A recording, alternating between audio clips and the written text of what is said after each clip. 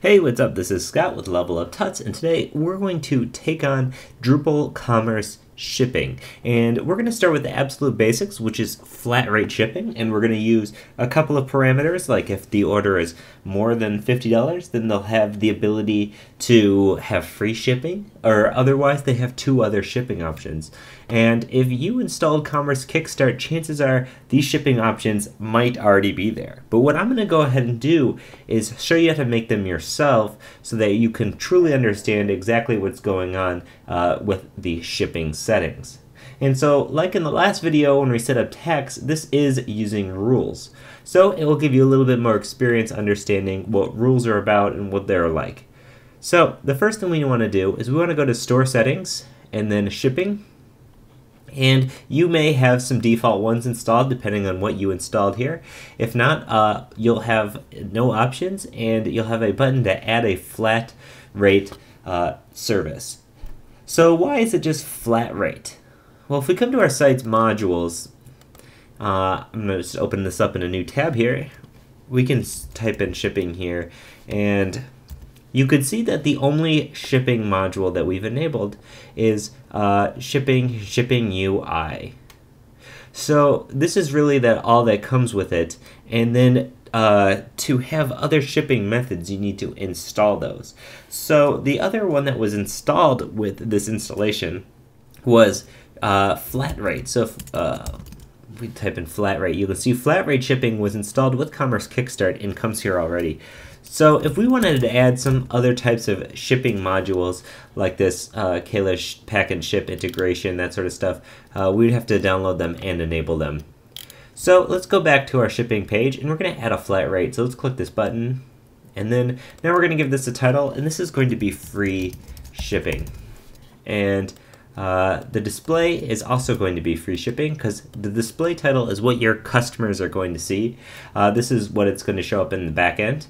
And you can give it a description if necessary, but uh, we can say for orders over, uh, not 50%, $50, um, shipping uh, for orders over, well, okay, whatever. For orders over $50, fine. And base rate is going to be $0. So let's click uh, flat rate, save flat rate.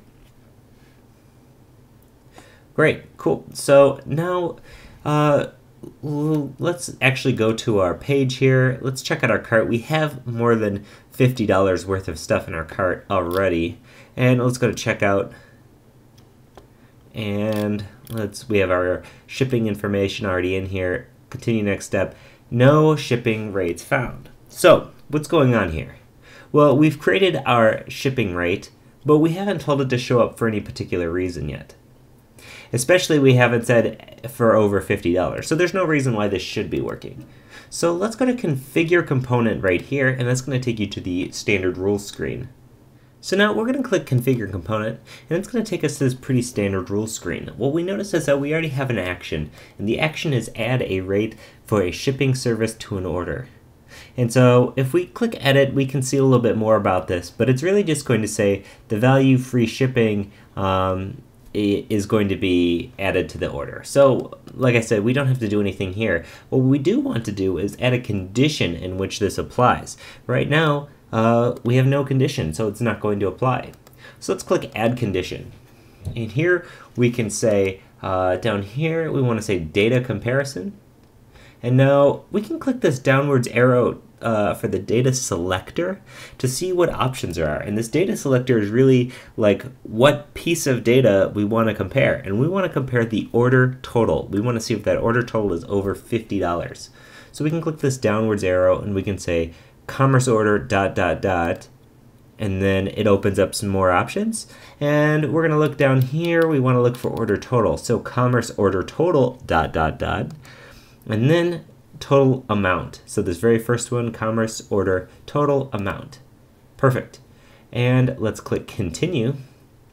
Now it gives us an option. So we could say if the commerce order total is exactly and if it equals an amount but we don't want to do that. We want to say if it's greater than um, and then instead of a data selector here, we're going to click this switch to direct input mode.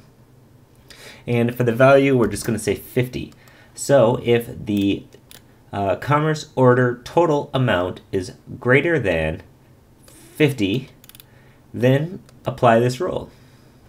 So I saved that uh, shipping rule. I'm going to go back to shipping and you can see that it's right here.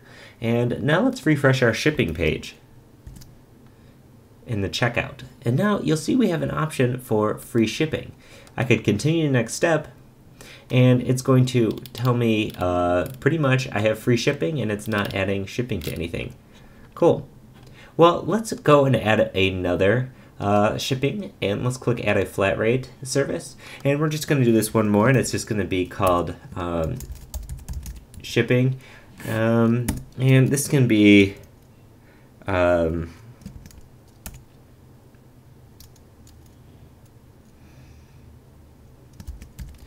normal shipping. I'm not exactly sure what normal people would call this, but normal shipping, we could say it's going to be five to eight days. And the base price is going to be 12 bucks because it's expensive. And now let's click Save Flat Rate. Okay, so just like the last one, we want to configure this component. And just like the last one, we have actions um, already in here, and we just need to add a condition. So let's add a condition again. And just like last time, we're going to pick data comparison, then downwards arrow, commerce order, uh, commerce order total dot dot dot, commerce order total amount. Continue. And then in the value, we're going to say uh, is greater than um, zero. So, sorry, we want to switch this to direct input. Um, there you go. So, as long as the order is greater than zero, they should have this option. So let's click Save. Now, refreshing, anybody is going to have this normal shipping option. If we select it here, we click Continue, it's going to add this into our total price. We can see our shipping is $12 here. Uh, let's make this a little bit bigger. There we go. And now it's $84.99 is total with the $14 or $12 shipping which is pretty awesome uh, because that was really easy to do. Now, let's go in our cart um, and let's actually uh, remove some things from it. So let's go back to uh, checkout here. And we have our products. Um, I'm sorry, let's go to this checkout right here. And in here, we can actually remove some of our products. I'm going to remove this expensive backpack that's taking up a ton of our order. And now our cart is only $39. So if we click checkout, You'll be able to see that once we get past the shipping screen to continue the next step, you'll actually see that we have our free shipping option still. I mean, why is that? We did say that it should be for any order under or greater than $50 that free shipping should appear. And here we have free shipping still showing up. Well, there is a good reason for that. Is we mess something up, right? And this is a very common thing to mess up, and that's why I wanted to do this. So we can go to shipping and then free shipping, configure component. Uh, this is actually a, uh, a little bit of an issue I have with Drupal Commerce. Sometimes they expect things out of you, and uh, they don't tell you. So here it says value, and you have 50 in here for your value. So you might be thinking that's $50. Well, what 50 is, is it's actually 50 cents. So in Drupal Commerce, they're using micro, uh, I, I forget what they have a name for it, micro currency or something like that, where 50 equals 50 cents and there's no uh, differentiating it. Um, so the solution here is actually to type 5,000 instead of 50. So 5,000, you can just imagine a decimal point being in here, and that is going to be it. So as long as our shipping is over $50 or 5000 for the value, we should save this. And now if we refresh here, goodbye to free shipping. And likewise, if we go to our cart and add something, let's add the quantity to like 10 or 12 or something, and check out, it's going to be right back there. Cool. So this is how you add shipping rules that are conditionally changing based on the order uh, price in the, uh, the total order price. So this is Drupal Commerce Shipping at its most basic, and we're going to get to some uh, UPS or USPS, one of those in the next one.